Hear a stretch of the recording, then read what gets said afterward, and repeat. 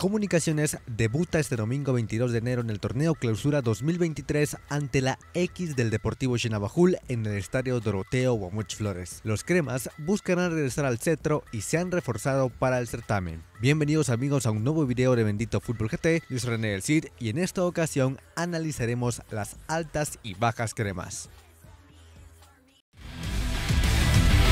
Esto es Bendito Fútbol GT, toda la información del fútbol guatemalteco. Recuerda, suscríbete a este canal, activa la campanita de notificaciones. Bendito Fútbol GT, juntos escribiremos nuevas historias.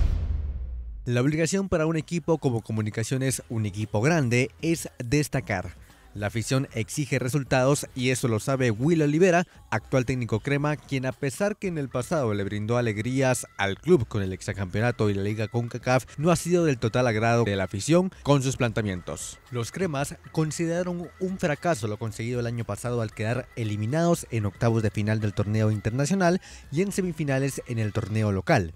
Es por ello que la Junta Directiva presidida por Juan Leonel García ha anunciado en días anteriores los diversos movimientos en el club. La novela de Oscar Santis finalizó el pasado 20 de diciembre cuando aún se disputaba el campeonato de liga.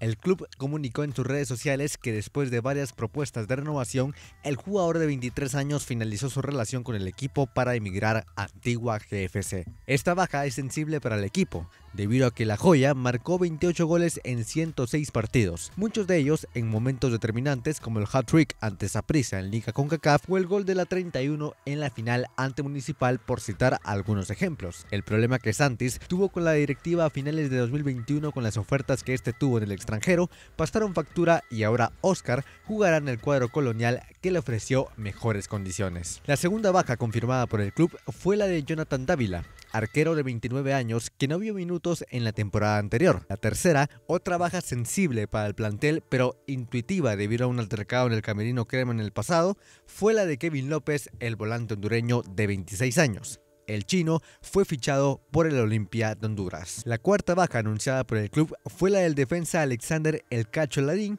quien finalizó su segunda etapa en la institución crema el salvadoreño declaró en medios locales su agradecimiento y satisfacción con su trabajo en el equipo.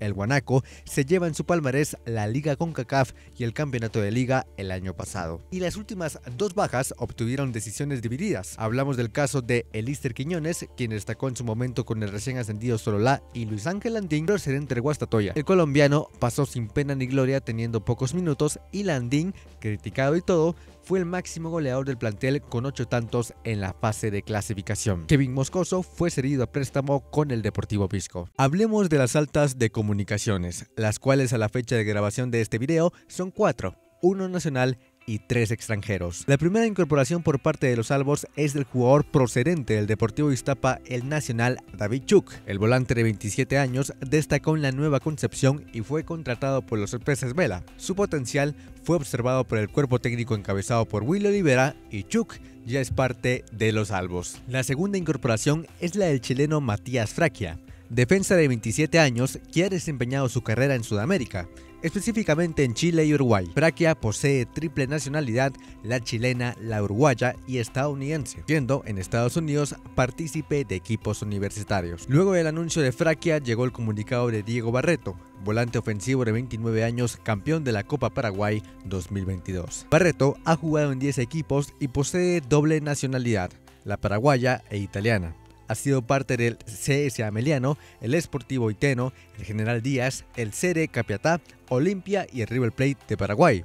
Atlético Huila y el Alianza Petrolera de Colombia y el Gremio y Flamengo de Brasil. Y por último, a lo que en opinión personal considero el fichaje estrella del Club Albo para el presente torneo, es la del colombiano Dubial Riascos, colombiano de 36 años con alta trayectoria en Colombia, El Salvador, Brasil, México, Venezuela y China. Dubiel Riascos ya estuvo en las portadas de los diferentes medios deportivos del país cuando en el mercado de piernas el año pasado fue anunciado con bombos y platillos con el Deportivo Solola cuando el propio jugador en sus redes sociales desmintió la noticia. La versión no oficial menciona un desplante por parte del artillero debido a que no le gustó la infraestructura del club nacional. Ahora, las vueltas de la vida lo regresan a Guatemala, esta vez con comunicaciones. Riascos presume en su historial ser campeón de la Liga MX en 2012 Supercopa MX en 2014, la Primera División de Colombia, la Liga Boliviana y la Liga Salvadoreña, entre otros. Fue máximo goleador en 2021 en la Primera División de El Salvador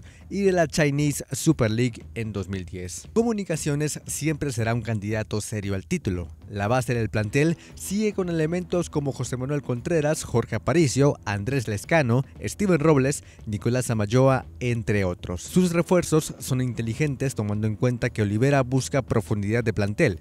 Algo que le hace falta comunicaciones y se vio reflejado el torneo pasado fue la falta de gol y ahora con la baja de Santis y Lantín se espera que por ejemplo Diego Barreto y sobre todo Dubiel Triascos sean los encargados y tomen la batuta de las anotaciones. ¿Y vos? ¿Qué pensás? Y bueno amigos, este fue el video de hoy, espero que te haya gustado. Suscríbete al canal para más contenido. Yo soy René El Cid del canal de Bendito Fútbol GT. Hasta la próxima.